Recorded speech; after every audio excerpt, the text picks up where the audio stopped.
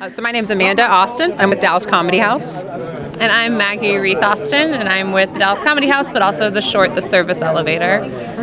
So um, let's start with the short. Tell us a little bit about the short and what Service Elevator is about.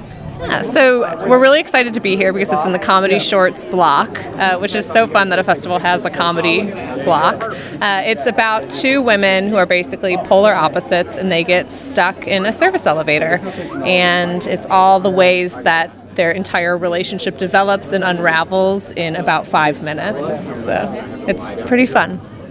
Where did you guys shoot? Where was the elevator? We shot it at UNT Apogee Stadium in an actual service elevator. So we didn't like build one. We crammed all of our lights and all of our equipment into a real live service elevator uh, and shot it all there.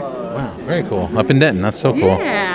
Um, I've got to ask, comedy wise, what's it like to have a festival that's concentrating on a comedy festival? And we just talked about that. Well, it's amazing. So we have been working to grow that comedy scene here for years in Dallas, and seeing the support from the different areas, such as a film festival that will actually have a comedy block, not just one comedy short that they admit, they have like a whole block, is amazing for the entire Dallas comedy scene. So we love being a part of it because it promotes comedy not only just within the scene, but also with women, because there's so many strong women doing comedy right now in Dallas. I think it's just a great way to like give them that nod and say thank you. Where would you put Dallas in, in the comedy scene? I mean, we've always kind of had like the improv, but I mean, right. tell us a bit about. It, it seems like we're we're one of the bigger cities now. Uh, it's interesting because I, I, would say 10 years ago we weren't, but there's just so much comedy that is going on now. And it's not just the improv.